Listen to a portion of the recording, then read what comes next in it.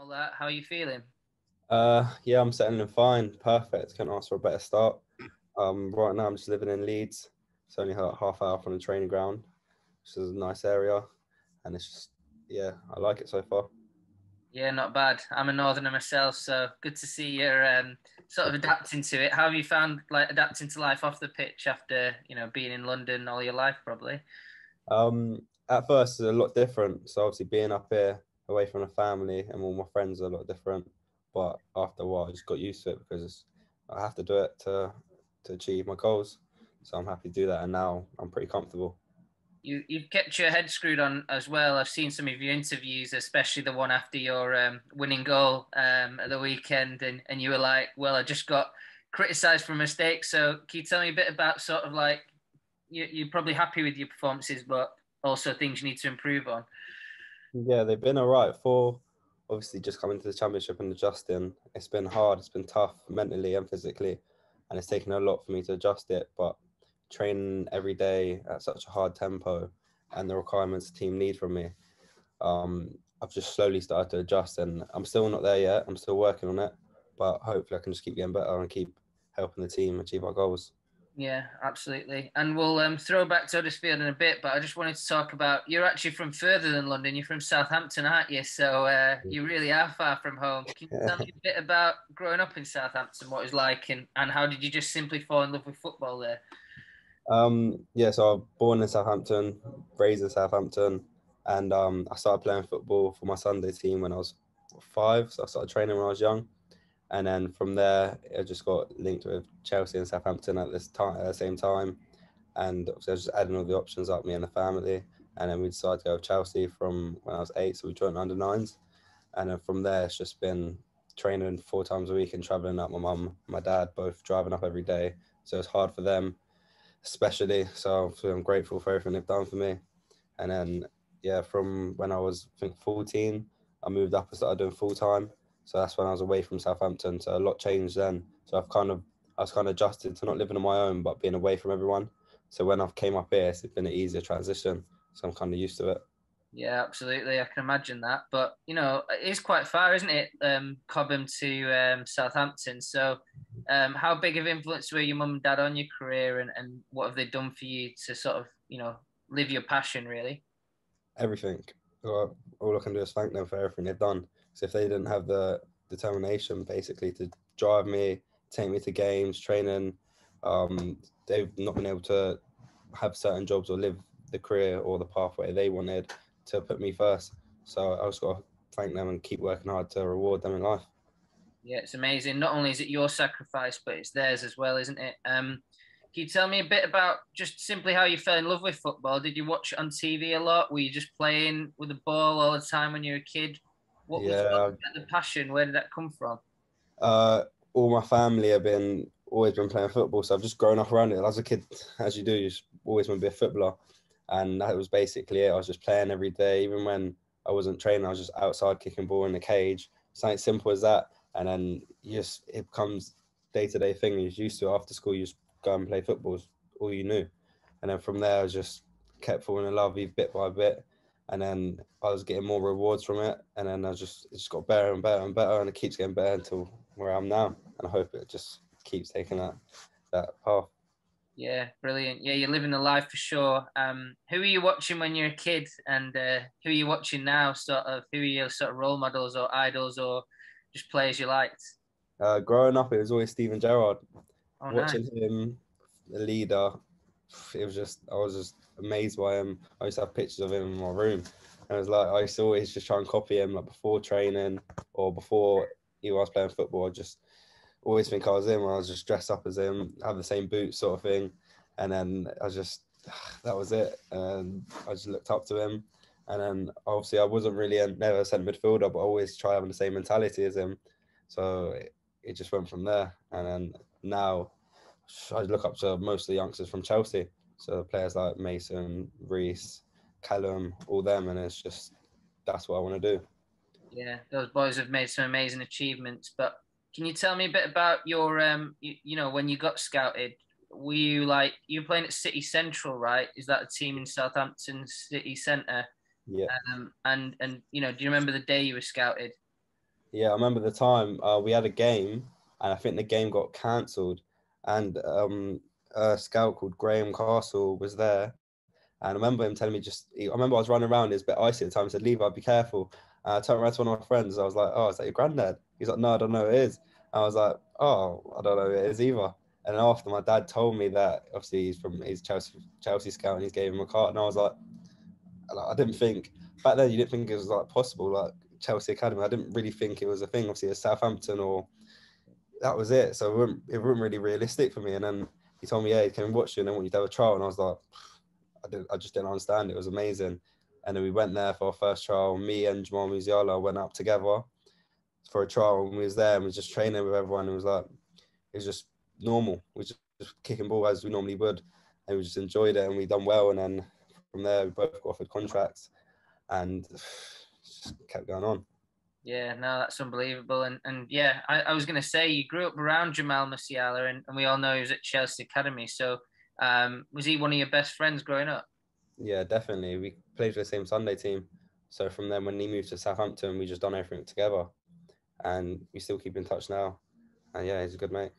Wow, it must be amazing. He, you know, you're the same age as him, but he's achieving everything a bit early in his career. What have you made of looking over at, at one of your best mates achieving what he's done?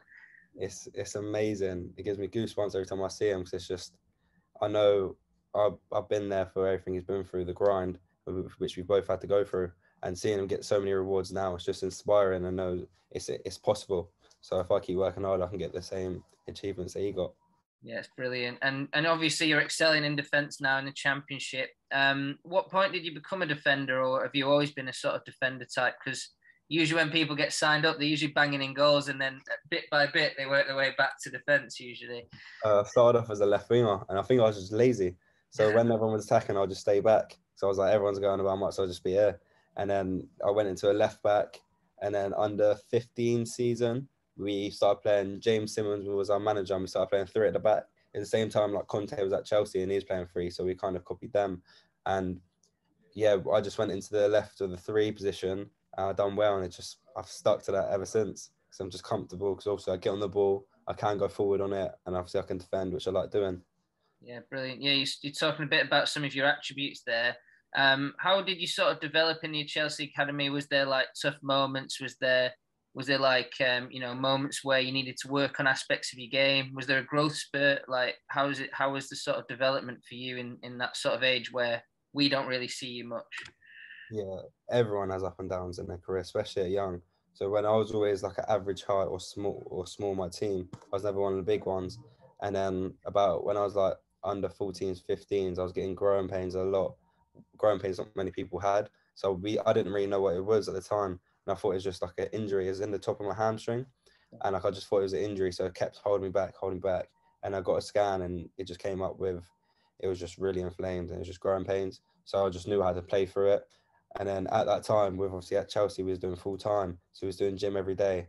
And it just all came together and I just grew loads and I got bigger and turned into a young man sort of thing at that age. And then I've just kept, obviously at Chelsea, kept, kept doing gym and I kept getting bigger and bigger. And I turned into like one of the biggest in my team and one of the most physically strongest. So it's a, it was a lot, but I got through it in the end. And, and does it? I, I see you as quite. Correct me if I'm wrong, but I see he's quite a technically gifted centre back, one who's comfortable on the ball. You think it helps that you used to be smaller, so you used to have to take care of the ball and, and not use your physicality too much when you were younger. And, and do you think that helped you now because you're good on the ball, but now you can also put it about as well? Definitely, definitely. Because when I was younger, when you when they used to be bigger players, you didn't really want to get into physical battles, so you had to be smarter than them and better at them with the ball. So when you have to pass quicker, one and two touch, it's kind of all added. So when I was well small until late, it helped me so much. I had be better on the ball. Then when I did grow, it just came together, and I was able to be good on the ball and also use my strength to get me out of situations. And that's sort of the thing I tried to use in the championship. Because if I was just a centre back and I had no physical attributes, I wouldn't. It would, I'd probably get brushed off the ball so much, and I wouldn't be able to compete in the league. But then if I was just a strong centre off, I wouldn't be able to help the team progress up the pitch. So I just to need to need to use both at the right times and make sure I'm not trying to overplay or be or trying to show my strength off too much. I've got to find the balance. So it helps me loads.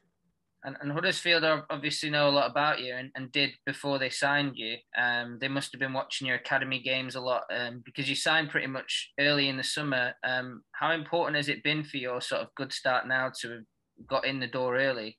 Oh, it's helped me so much. Is coming here and then the, my teammates were, I couldn't ask for any better teammates. They made me feel really comfortable early on from the first day, which I'm really happy with. And then on the pitch, it was how we play and the intensity is so much different to academy football. So it took me a couple weeks to get used to, and then well, I'm still getting used to it now. But where it was so different, where I got in early, I kind of got used to it by the time the season came, and then I obviously had a chance to show my good attributes while pre-season. So when the season did start, I was able to start and then show it in the game, and then keep showing it on from there. Do you think the gaffer's been brave to trust you? Because you are still young and uh, uh, you know to get such a big loan um, at your age in your position especially in your position i would say is a good thing. So do you think you have like a lot of thanks for the gaffers for trusting you? Yeah most definitely because it was a brave choice especially at 18 year old coming to the champ a centre half from chelsea everyone might be asking questions saying oh is it just because you came from chelsea is there no is he needs to prove why he why he should be playing in the team. So for him to trust me and bring me first and foremost, all I can do is say thanks to him and to trust me to play in how many games I've played in so far at the start of the season. I can just thank him again because he's helped me a lot, even in things in training, talking to me and the coaching staff around him. It's just made me be able to improve my game. And then hopefully I can just keep improving, improving. Yeah, and, and did you surprise yourself by already bagging a goal so early, um, and a, and a big goal at that? I mean, I know they loved it in Yorkshire. So, uh, how did it feel, and, and did it surprise you getting on the score sheet? I remember it was like I remember when it was like 94th minute, and I was the ball was there, and I was like, I could just, feel, I, I don't know, not I could feel it coming, but I just held up, and I was like, I might say just wait here, and I remember getting played across and me passing it in, and I was just like, when I went in, I was I just ran but it didn't feel. I thought I felt like something was to go wrong. Like it's gone in, but the liner was to say something or something like that just to put a, put an end to it. But it didn't happen, and it went in. I remember running over to the fans, and when I mean it was the best feeling I've ever had in my life. Seeing the fans run and all celebrating, everyone just smile and be so happy, and the mood just changed so quickly. And then my teammates run up to me. It was just so surreal, and I was I was just so excited. Even like in the post match interview, all I was doing smiling because I couldn't ask for a better better way to score what the 90th minute against Sheffield United, good side, and get the three points, which all that mattered. So I was just blessed, really blessed. I believe you. If, uh, uh, everyone knows how that feels, you know. Just even in the stands, it would be an unbelievable feeling. But you um, trained with uh, Thomas Tuchel ahead of the Champions League final last season. At the end, um, did that help give you confidence ahead of this loan as well? Definitely, because it just showed that Chelsea also have trust in me to train with the first team at the end of the season. It's helped me so much to come to Huddersfield and be able to be in a first team environment, and it's helped me be more comfortable and settle down quicker, which is obviously showed on the pitch where me and the teammates trust each other so much. Great, yeah. And, and what did you sort of learn from that? Because you're training with world class players ahead of a game against Man City. It's not bad, is it? Yeah, I learned I learned a lot. To be fair, just the simple things. The intensity was so good. It's, it was similar to here. So when I came over to Huddersfield, I was kind of not used to it, but I was prepared and mentally prepared to know that it wasn't going to be easy here. It was going to be a battle, and I had to prove that I was res- resilient and keep going. Yeah, and, and you said you were looked up to a lot of the guys like Mason Mount and, and others um, from the who've gone through that pathway you've gone through. How much did you look at the journeys of those guys? You know, Reece, Trevoh, um, Marc Guehi as well, who's left Chelsea but's doing well. How much did you look at their journeys and sort of think that you know you could emulate that? Growing up through the academy, all, all you do is look at the older players and try to be like them. So them going out on loan just showed a pathway and then coming back and doing so well. So that's all that I can wish for to come out on loan, do well, and then just keep getting better and better. Did you get any good advice from some of the boys? Because I know Chalobah even went to Huddersfield himself, so and and others have as well, like Kasey Palmer and um, I think Izzy Brown as well. So did you get any advice off any of the lads about the move? A couple of players spoke to me and just said going on loan to the championship, you have to prove yourself. There's going to be no easy ways to just get through it. So when I did go on loan, when I when I'm here, I know that, and I kind of have to keep battling. So when things don't go my way, I can't just give up and put my head down. I've got to keep it high and keep trying to get through them. And that's sort of the advice they gave me. Yeah, and I, I guess um, Huddersfield came in really strong for you as well. Um, but I guess other clubs probably were in as well. What, what was it that made you feel comfortable when you sort of had your meetings when you were sort of making the call that this would be the spot for you? Uh, Huddersfield just showed that they believed in me, and the way that they do play football is so positive, and it just tick boxes for me. So they try to play on the ball, play through the lines from even from the goalie to centre half midfielder to strikers, and it just showed me that I would be able to play in the team and I would be able to show all my attributes and be brave on the ball and take risks, which I like to do. Yeah, absolutely. And you know, you're already earning respect to your teammates. I was watching Naby Sarr, um, one of your, you know, partners, and he was praising you in an interview yesterday. I was wondering how important is it being that support of the dressing room and, and getting respect of your fellow pros as well? It's it's it's it's the best feeling because you know that they trust you and you trust them. So when if one of you are in a situation on the pitch where you know it's not really um it's not really a nice or we might lose a ball or something like that, they know that they can trust you and vice versa to help you get out of that situation. And it's just belief. So if one of your players on the ball you and you make a run, you know that they'll make the pass or it'll be perfect. And it's just it's it's a good feeling because you can just trust each other and it means so much on the pitch. And then when you do win, or and you do do something right, you will contract, congratulate each other because it means so much to each other. And we're basically we're not just a team, we're basically family. So we've all got to work hard for each other. That's that's what it is. And what do you hope to achieve this season for the team and for yourself? Uh, for the team, win as many games as possible. As simple as that. We go out there to win with nothing else in our mind, and we've got to prove that we can. And for me, it's, it's basically the same make sure when I when I'm playing in the team that I'm, I do the best I can to my best ability and make sure we get the win. that's all that matters. And just keep keep working hard and keep getting better. What's the gaffer's feedback been on your your game? Is he is he happy with what you're doing? Is there things he wants you to work on? What what sort of what sort of his feedback? Uh, yeah, he's he, he's telling me that yeah I've I've done well, but there's always room for improvement, which I really like. Any manager can just tell you, oh yeah, you've done really well, but then where do you go from there? You got to keep it up. You're only as good as your next game. So when he's helping me improve on things that I can do better next game. So when I do get in a situation, I know because I've had a lot of feedback. So it just helps you so much prepare for your next game. So I don't want someone that's just going to tell me you done well and then that's it. Because where'd you go from there? I need someone to keep keep me make, making sure I'm on my toes and keep getting better and better. You're quite analytical about your own game as well. It seems because I feel like you don't mind being told like harsh truths and stuff like that, and, and you know you look at your game and look at areas to improve. Do you, what do you do sort of after games when you're like um, you know thinking about what you could have done better, what you've done well? How do you sort of analyze your own game? Uh, I've got a team and we go through it after the after each game, and we go uh, we go through every little detail and good things and bad things. You don't want someone just to tell you you're just doing rubbish because confidence you don't you don't want it to just drop. But you don't want someone just to be blowing smoke up you for no reason. You need to keep working hard. So that's um, I like that. I like someone telling me the hard truth, saying if I'm not doing well, you got you're better than that. You need to improve. So I do know next game I have a little fire in my stomach, knowing that I need to prove people wrong again, and that is the biggest thing for me, proving people wrong. Every day you could do you could do good things, but always be people doubting on you. So I just have to keep proving to them that I am a good player and that I can play in the championship and I can perform for my team and get the points that we need. I guess your mum and dad don't drive you to uh, Huddersfield training anymore. No. um, how how how do they sort of how are they experiencing your um, journey and, and do, do they give you advice as well still? Yeah, after every game I speak to my parents. So they're, they're, we go through this all together. So if I'm not doing well, they will tell me, simple as that. And if I'm done well, they congratulate me. So everything I do is kind of like we do it together. So they're just right behind me, and I'm just the face basically. I just go out and play football, but everything else they help me with and that's what I like so much. We're so close, and we just go for everything together. And if something's not going right, they will be there to back me. And if everything's going well, they'll be there to congratulate me, which I really like. So being up here all alone, ain't, I still talk to them every day. It's not really been a much of a change from being at home. So yeah, it's just I need to keep staying humble and staying grounded, which they help me do, and keep working hard. Yeah, you're carrying that Colwill name, so you gotta you gotta represent your family as well, haven't you? um, yeah, just wanted to sort of wrap it up a little bit, but um, you know, Chelsea as well. They have the loan department. Is there someone keeping tabs on you, and, and what are they saying? Yeah, I always get people calling me and just speaking to me about games, seeing if I need any advice, um, off the pitch or on the pitch, and it helps me a lot.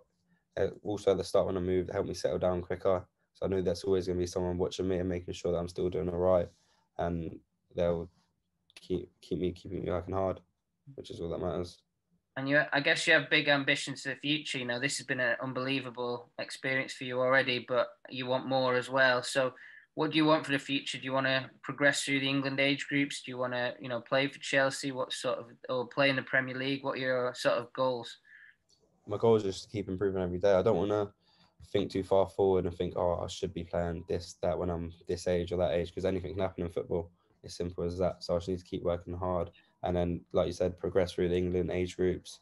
Hopefully, become a Premier League established Premier League player, and just keep improving from there. And we, anything can happen in football, so I just got to keep working hard, and hopefully, all my goals will be achieved, and I'll keep proving people wrong. Brilliant. Well, so far so good. You've definitely proven a lot of people wrong already. So just keep keep that fire in the belly and stuff. But I think that's um, everything I need today. It's brilliant. Um, brilliant to speak to you, meet you, and, and really a pleasure. Thank you very much. Thanks. All the best, man. I'll keep, I'll be watching you. yeah, thank you.